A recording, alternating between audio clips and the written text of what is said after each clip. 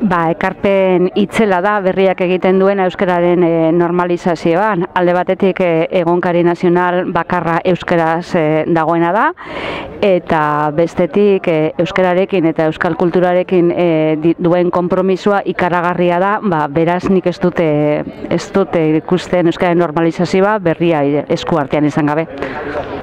Bueno, ba, nik uste bai Euskal Lehunkariak aurretik eta berriak ezinbestuk ekarpena egin dutela, alegi Euskarak e, goz asko beharritu, bizirik eta osasuntxu iraun nahi baldin bado, baina bueno, horietako bada noski, ba, Euskarazko egunkari bat, Euskaldunon beharrak gutxinez e, zentzorretan edo asetuko dituena, ustute berriak hori egin duela eta gainera ongi egin duela. Eta beraz, bueno, nik uste egin duela, bueno, Euskaldungoa gorpuzten lagundu, eta aldarrikapen hori ez da, eguneroko hain zea dena, eta hain ba, partekatua Euskaltzale honartzezik eta da Euskaraz bizitza, ba, bueno, ba, eman digu Euskaraz bizitzeko e, aukera bat.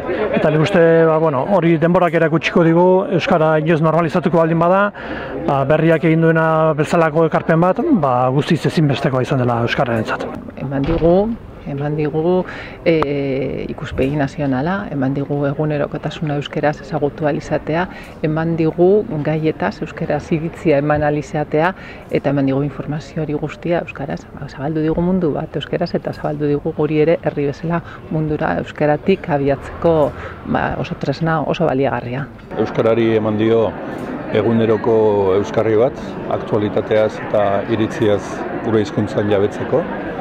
Egarrena, uste dut, e, gaitasuna eduki duela bere inguruan komunitate bat sortzeko, eta komunitate horrek lehialtasun bat adierazi dio.